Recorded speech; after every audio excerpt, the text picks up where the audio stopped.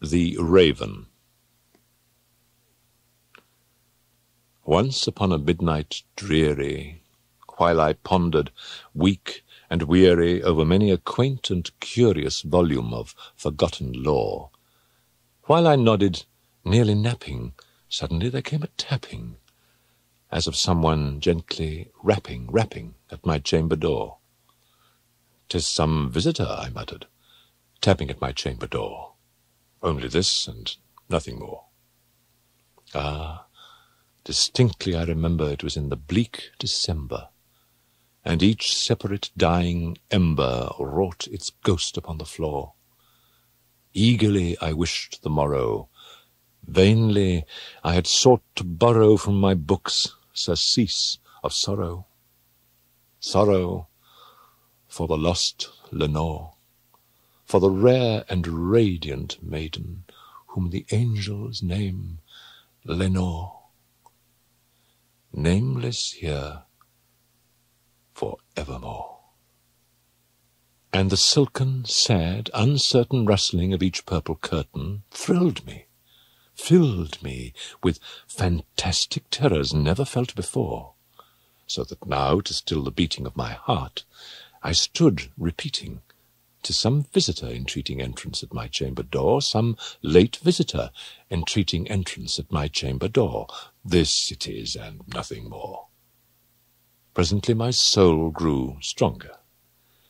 Hesitating then no longer, Sir, said I, or Madam, truly your forgiveness I implore. But the fact is I was napping, and so gently you came rapping, and so faintly you came tapping, tapping at my chamber door, that I scarce was sure I heard you. Here I opened wide the door. Darkness there, and nothing more. Deep into that darkness peering, long I stood there, wondering, fearing, doubting, dreaming dreams no mortals ever dared to dream before. But the silence was unbroken, and the stillness gave no token. And the only word there spoken was the whispered word, Lenore. This I whispered, and an echo murmured back the word, Lenore. Merely this, and nothing more. Back into the chamber turning, all my soul within me burning. Soon again I heard a tapping, something louder than before.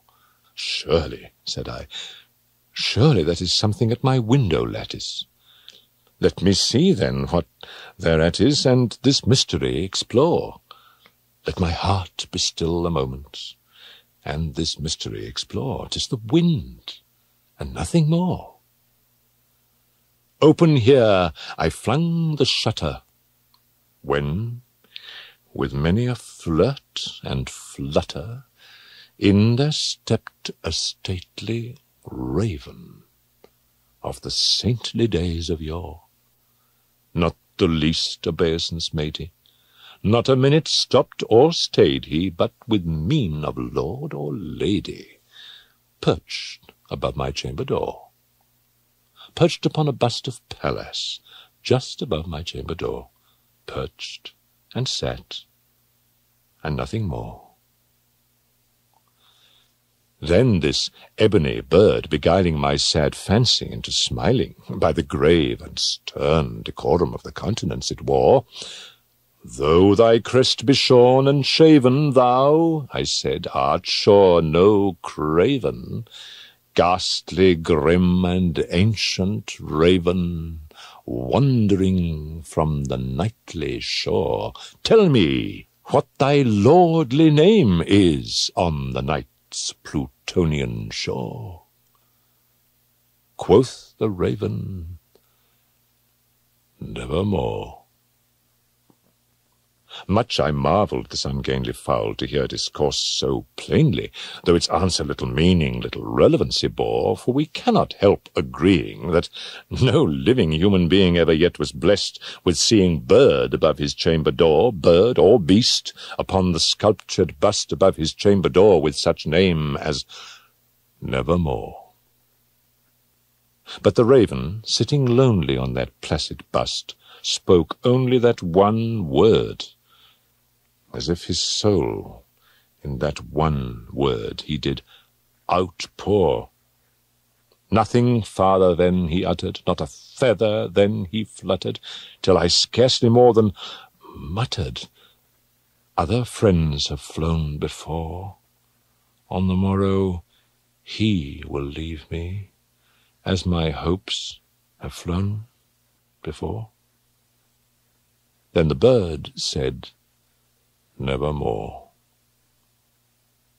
Startled at the stillness broken by reply so aptly spoken, doubtless said I.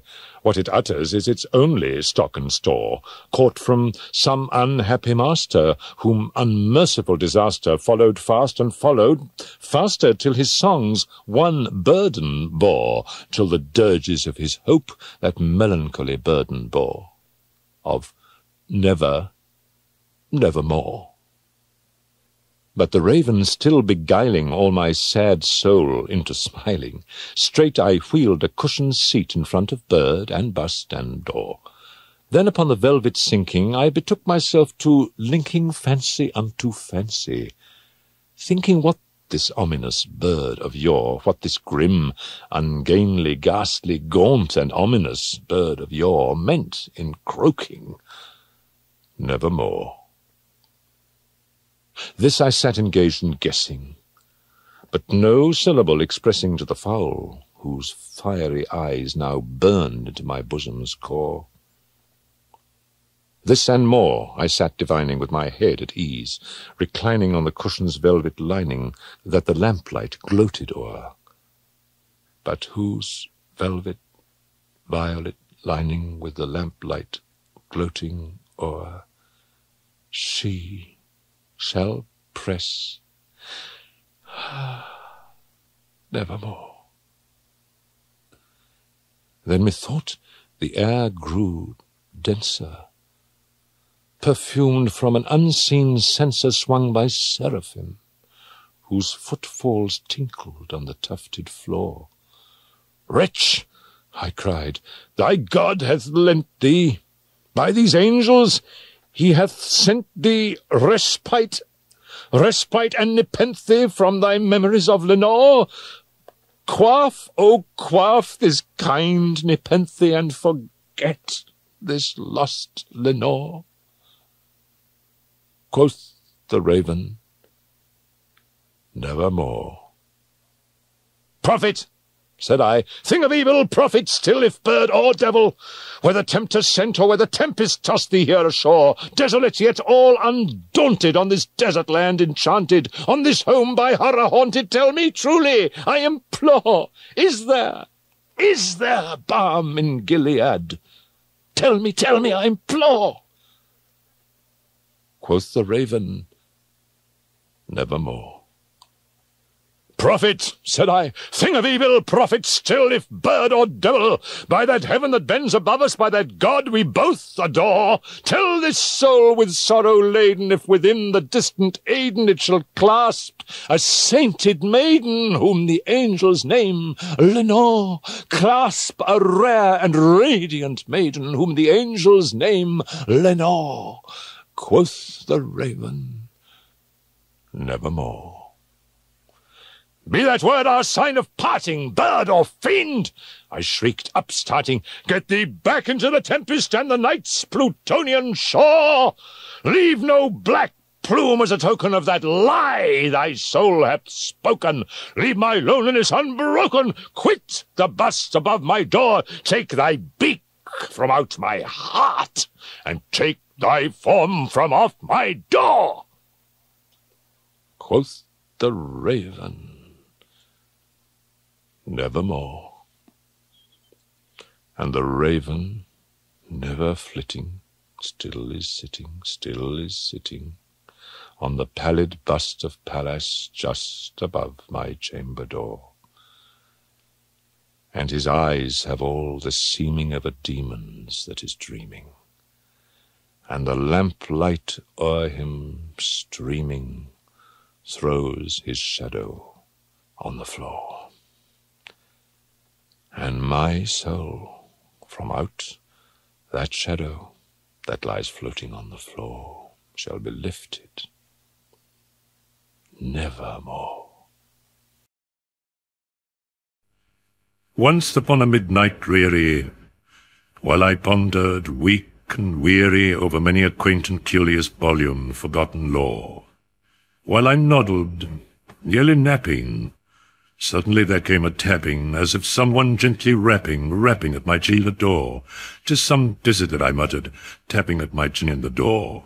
Only this and nothing more. Ah, distinctly I remember it was in the bleak December, and each separate dying ember wrought its ghost upon the floor. Eagerly I wished the morrow. Vainly I had sought to borrow from my books surcease of sorrow, sorrow for the lost Lenore, to the rare and radiant maiden whom the angels named Lenore, nameless here for evermore. The silken, sad, uncertain rustling of each purple curtain thrilled me, filled me with fantastic terrors never felt before, so that now to still the beating of my heart I stood repeating, "'Tis some visitor entreating entrance at my chamber door, some late visitor entreating entrance at my chamber door, this it is, of nothing more. The present in my soul grew stronger, hesitating then no longer. Sir, said I, or madam, truly oh, your forgiveness I implore, but the fact is I was napping, and so gently you came rapping, and so faintly you came tapping, tapping at my chamber door, that I scarce the sure I heard you. Here I opened wide the door. Darkness there, and nothing more. Deep into that darkness peering, long I stood there, wondering, fearing, doubting, dreaming dreams and mortal ever dared to come before. But the silence was unbroken, and the stillness gave no token. And the only word there spoken was the whispered word, No. Oh, this I whispered, and the echo murmured back the word, Lenore. Barely this, and nothing more back into the Chimberton, all my soul within the burning. Some again I heard a tapping, something louder than before. Surely, said I, surely that is something to my window lattice. Let me see then what thereat is, and this mystery explore. Let my heart be still a moment of this mystery explore. Just the wind and nothing more. Open here I fund the shutter when... With many a flirt and flutter, in there stepped a stately raven of the saintly days of yore. Not the least obeisance made he. Not a minute stopped or stayed he, then but with mien of lord or lady, perched above my chamber door. Perched upon the bust of Pallas, dust above my chamber door. Perched, and sat, and nothing more. Yet this ebony bird, beguiling my sad fancy into smiling, while the grave and stern decorum of the countenance it wore, Though thy crest be shorn and shaven, thou, I said, art sure no craven. Ghastly brim and ancient raven, wandering from the nightly shore, tell me what thy lordly name is on the night's Plutonian shore. Quoth the raven, Nevermore. Much I marvelled this ungainly fowl to hear discourse so plainly, though its answer little meaning, little relevancy bore. For we cannot help agreeing that no living human being ever yet was blessed with seeing bird above his chamber door, bird or beast, upon the sculptured bust above his chamber door, with such name as Nevermore. But the raven, sitting lonely on that placid bust, spoke only that one word, as of his soul in that one word he did outpour. Nothing further than he uttered, nor the feather than he fluttered till I scarcely more than muttered, Other friends have flown before. On the morrow he will leave me, as my hopes have flown before. Then the bird said, Nevermore. Startled at the stillness broken by the reply so aptly spoken, Doubtless, said I, what it utters is its only stock and store, caught from some unhappy master, whose unmerciful disaster followed fast and followed faster till his psalms one burden bore, till the dirges of his hopes that melancholy burden bore, of never, nevermore. But the raven still beguiling all my sad soul into spying, straight I wheeled the cushioned seat in front of gird and bust and door. Then upon the velvet sinking I betook myself to linking fancy unto fancy, thinking what this ominous bird of yore, what this grim, ungainly, ghastly, gaunt, and ominous bird of yore meant in croaking, nevermore. This I sat engaged in guessing, but no syllable expressing to the fowl, whose fiery eyes now burnt into my bosom's core. This and more I sat divining, with my at means, reclining on the cushion's velvet lining, but the lamplight gloated o'er, but whose velvet varlet lining with the lamplight gloating o'er, she should press, ah, nevermore. Then methought the air grew denser, perfumed from an unseen censer swung on by cellophane, whose footfalls tinkled on the tufted floor. Wretch, I cried, thy God hath lent thee, by these angels he hath sent thee respite, respite in the plenty from my memories of the Lenore. Quaff, oh, quaff this kind nepenthe, and forget this lost Lenore. Quoth the raven, Nevermore. Prophet, said I, thing of evil, prophet still if bird or devil, were the tempter sent, or were the tempest tossed thee here ashore, desolate yet all undaunted, on this desert land enchanted, on this home by horror haunted, tell me to me, I implore, is the, is the barn indeed? Tell me, tell me, I implore. Quoth the raven, Nevermore. Prophet, said I, thing of evil, Prophet still a bird or devil, by that heaven that bends above us, by that God we both adore, tell this soul, with sorrow laden, if within the distant Aidenn it shall clasp the sainted maiden whom the angels name Lenore, clasp the rare and radiant maiden whom the angels name Lenore. Quoth the raven, nevermore. Be that would our sign of parting, bird or fiend, thy sweet upstarting, get thee back into the tempest of the might's Plutonian shore. Leave no back plume as a token of that lie thy soul have spoken. Leave my loneliness unbroken, trick a bust above my door. Take thy beak from out my heart, and take thy form from off my door. Quoth the raven, Nevermore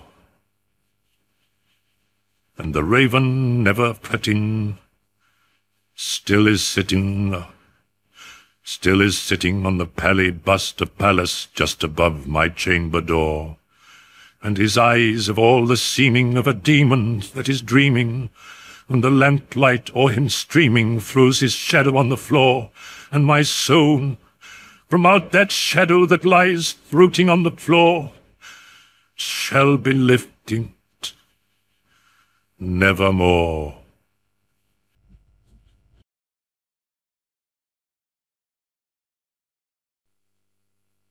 Once upon a midnight dreary, while I pondered weak and weary over many a quaint and curious bond of forgotten lore, while I nodded, nearly napping, suddenly there came a tapping, as of someone gently rapping lapping at my chamber door. "'Tis some visitor,' I muttered, tapping at my chamber door, only this and nothing more. I distinctly I remember it was in the bleak December, and each separate dying ember wrought its ghost upon the floor. Eagerly I wished the morrow, vainly I had sought to borrow from my surcease of sorrow, Sorrow for the lost Lenore, for the rare and radiant maiden whom the angels call Lenore. Nameless here forevermore. And the silken, sad, uncertain rustling of each purple curtain thrilled me, filled me with fantastic terrors never felt before, so that now, to still the beating of my heart, I stood repeating, is some visitor entreating entrance at my chamber door? Some late visitor entreating entrance at my chamber door? This it is, and nothing more. Fervently my soul grew stronger, hesitating then no longer. Sir, I said, or madam, surely your forgiveness I implore. But the fact is, I was napping, and so gently you came rapping, and so faintly you came tapping, tapping at my chamber door, that I scarce was sure I heard you. Here I opened wide the door. Darkness there, and nothing more. Deep into that darkness peering long, I stood there wondering, whole hearing, doubting, dreaming dreams no mortal ever dared to dream before. That the silence was unbroken. The stillness gave no token, and the only word there spoken was the whispered word, the Lenore. And I whispered back, and an echo murmured back, the Lenore. Merely this, and nothing more. Back into the chamber turning, all my soul within me burning. Soon again I heard a tapping, something louder than before. Surely, said I, surely that is something at my window lattice. Let me see what then thereat is, and this mystery explore. Let my heart be still a minute, and this mystery explore.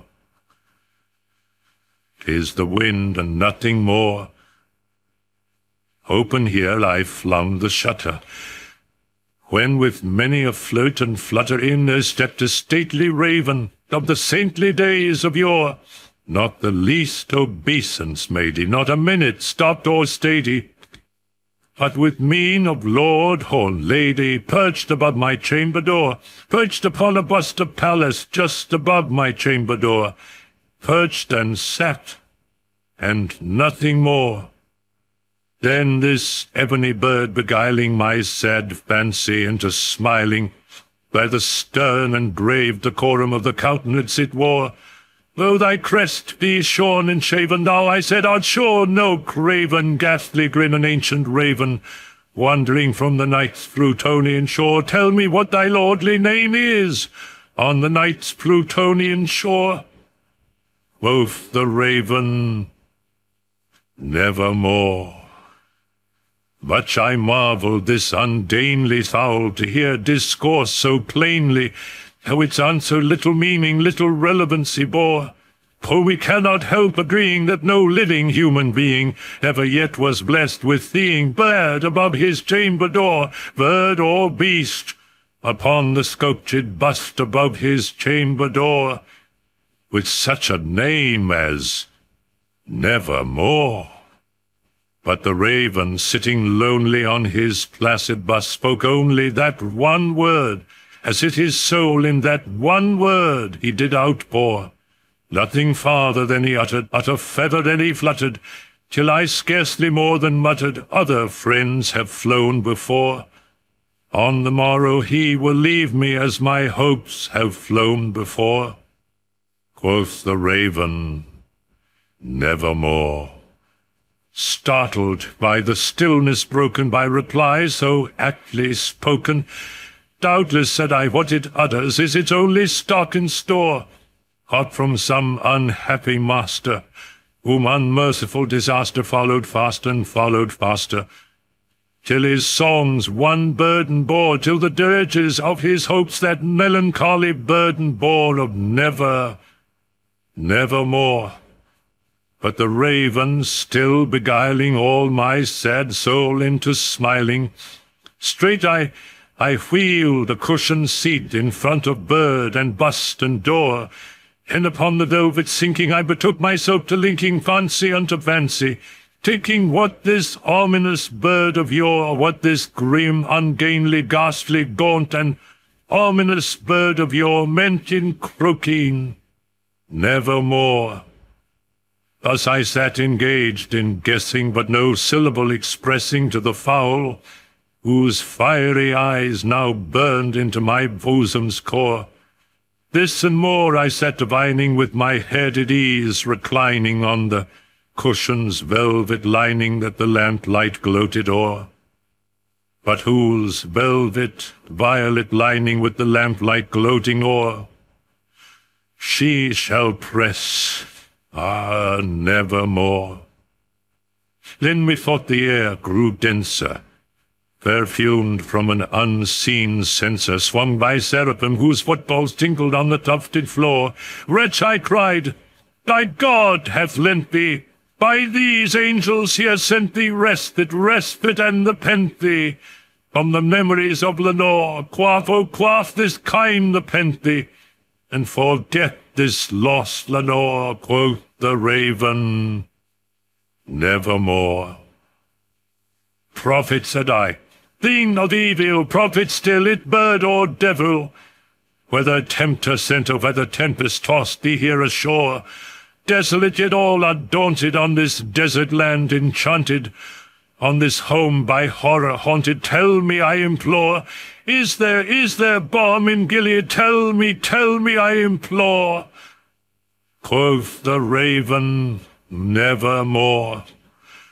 Prophet, said I, thing of evil, prophet still, it bird or devil, by that heaven that bends above us, by that God we both adore, Tell this soul with sorrow laden, if within the distant Aidenn it shall clasp a sainted maiden, whom the angels name Lenore, clasp a rare and radiant maiden, whom the angels name Lenore. Quoth the raven, nevermore. Be that word our sign of parting, bird or fiend, I shrieked upstarting, Get thee back into the tempest and the night's Plutonian shore. Leave no black plume as a token of that lie thy soul hath spoken. Leave my loneliness unbroken. Quit the bust above my door. Take thy beak from out my heart, and take thy form from off my door. Quoth the raven, nevermore. And the raven, never flitting, still is sitting, still is sitting on the pallid bust of Pallas just above my chamber door, and his eyes have all the seeming of a demon's that is dreaming, and the lamplight o'er him streaming throws his shadow on the floor, and my soul from out that shadow that lies floating on the floor shall be lifted nevermore.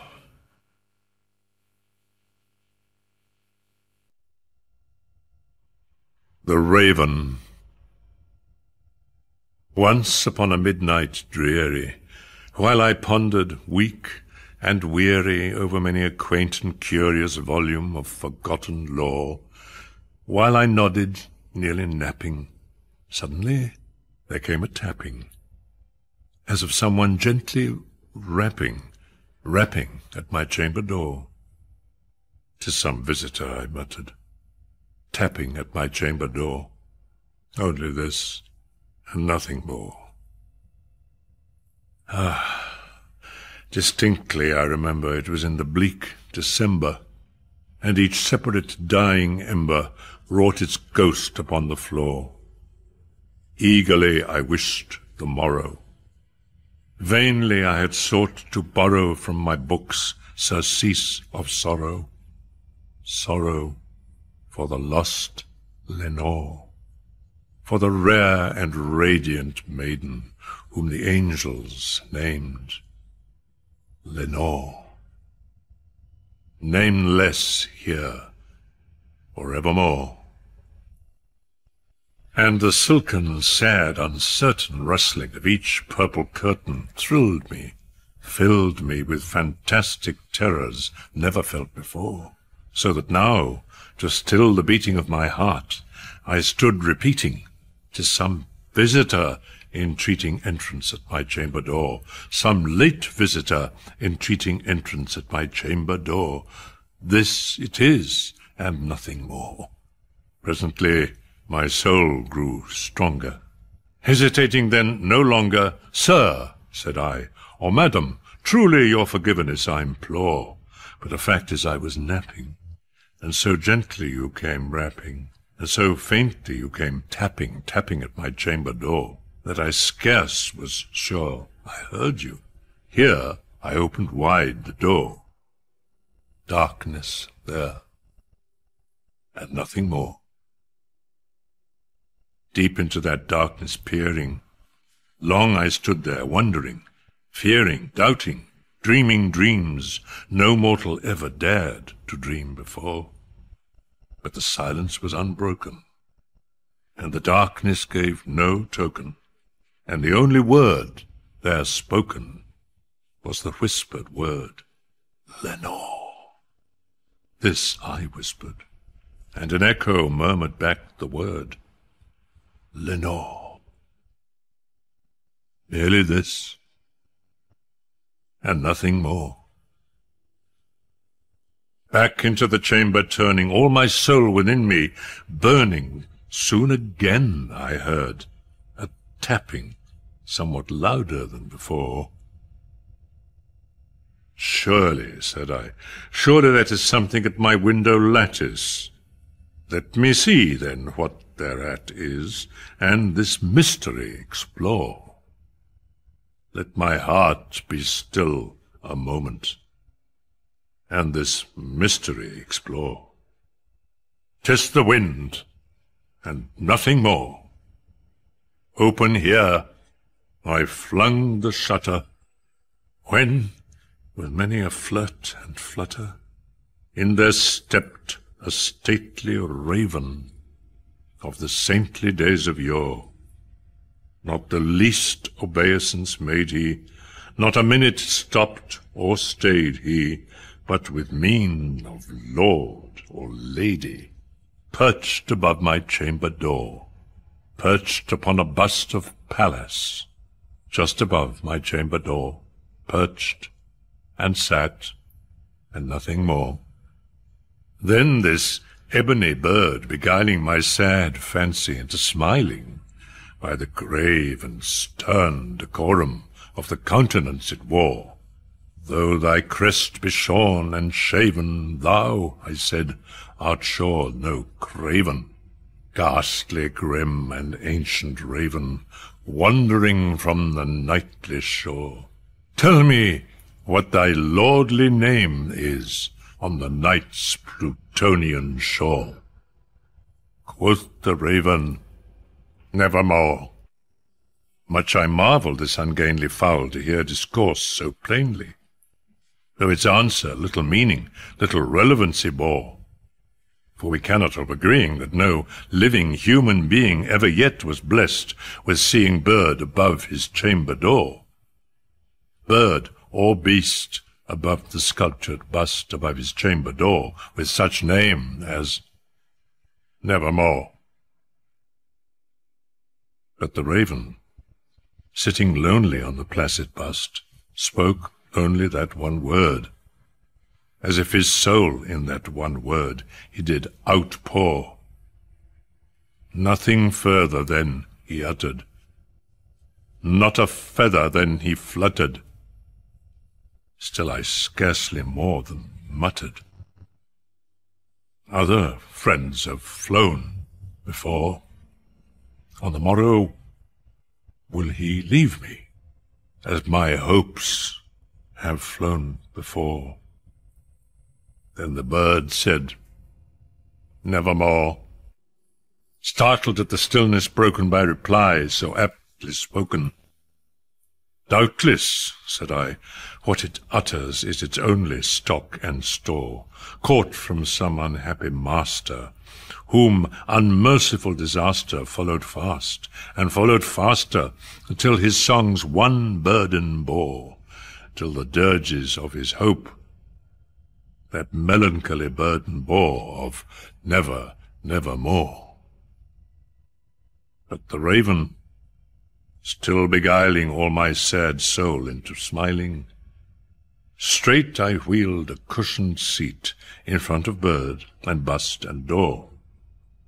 Then upon the velvet sinking, I betook myself to linking fancy unto fancy, thinking what this ominous bird of yore, what this grim, ungainly, gaunt, and ominous bird of yore meant, in croaking, evermore.